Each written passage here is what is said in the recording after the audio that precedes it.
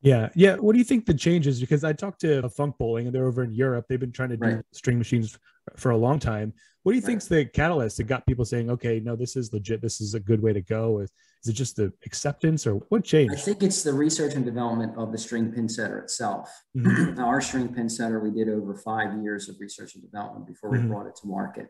And we have a lot of features in it that frankly nobody else has regarding the 24 volt, the capability to set individual pins. We have pneumatic ball doors in the system so you can't get any pins caught in the ball door uh, Yeah. at all.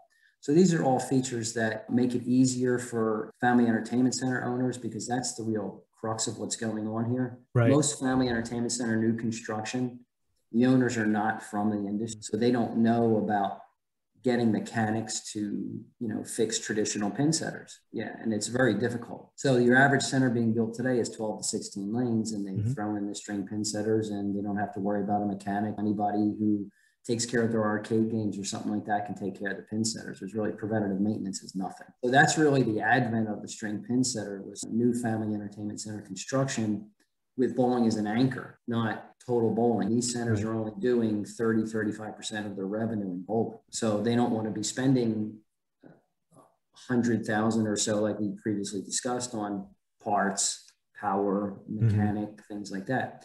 And even the USBC has noted in one of their articles that one of the reasons for looking at sanctioning string pin setters is because you can't find mechanics in Mhm. traditional pin setters. You just can't Yep. find harder and harder because it's Mhm. a generational thing.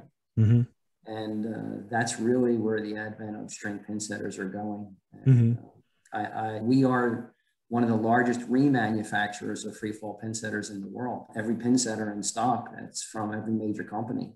Okay. And I probably have sold 40 of them in the last five years. And that was That's to it. South and that was to South Korea. It wasn't even domestic sale. Yeah. So it's it's very interesting to see where the industry's going as far Yeah. as string pin setters go. New center construction, I have probably one or two new centers that I'll build in the next two years that have free fall pin setters, Wow. only because Yeah. they want to be league based. But other than that, it's strictly, you know, Mhm. I'll probably put in three to five hundred string pin setters construction compared to maybe twenty.